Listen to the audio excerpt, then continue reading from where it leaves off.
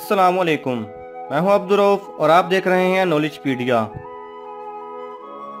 دوستو، آپ نے اکثر دیکھا یا سنا ہوگا کہ جب صبح کی اذان ہوتی ہے تو کتے بھونکنا یا رونا شروع کر دیتے ہیں۔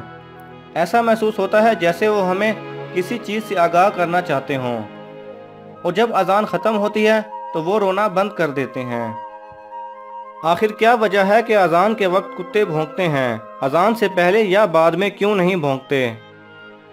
دوستو، حضرت انسان جو زمین کی گہرائیوں سے لے کر آسمان کی اونچائیوں تک رسائی حاصل کر چکا ہے، ابھی بھی کچھ صلاحیتوں سے محروم ہے۔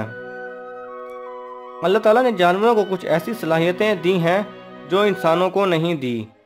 اللہ تعالیٰ نے انسانوں کو اشرف المخلوقات یعنی تمام مخلوق سے افضل بنایا ہے۔ لیکن پھر بھی انسان اپنی آنکھوں سے بلائیں اور شیاطین وغیرہ کو نہیں دیکھ سکتا۔ جبکہ کچھ جانور، کتے اور الو وغیرہ ان بلاؤں اور شیاطین وغیرہ کو اپنی آنکھوں سے دیکھ سکتے ہیں۔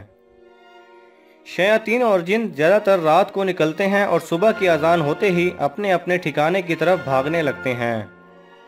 ان چیزوں کو بھاگتا دیکھ کر کتے بھونکتے ہیں اور رونے جیسی آوازیں نکال کر لوگوں کو آگاہ کرنے کی کوشش کرتے ہیں۔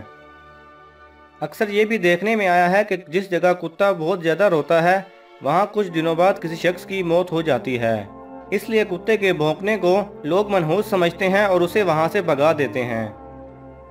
جبکہ وہ بے زبان منحوس نہیں ہوتا، بلکہ وہ شیاطین اور بلاؤں وغیرہ کو دیکھ کر ہمیں آنے والی مصیبت سے آگاہ کرنا چاہتا ہے۔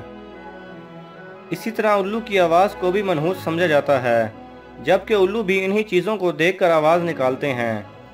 لہذا ان جانوروں کو رونے جیسی آواز نکالنے کی وجہ سے منحوس سمجھنا غلط ہے۔